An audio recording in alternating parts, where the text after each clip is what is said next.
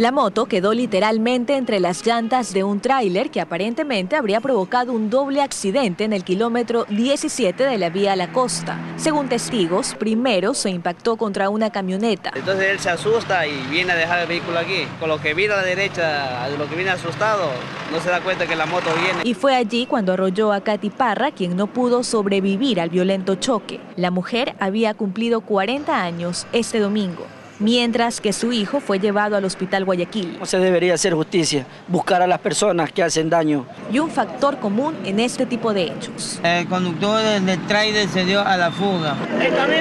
Y en otro lamentable acontecimiento por las graves heridas y fracturas, murió la madrugada de este lunes Javier Aski, padre de la familia atropellada cuando intentaba cruzar en la vía perimetral de Guayaquil.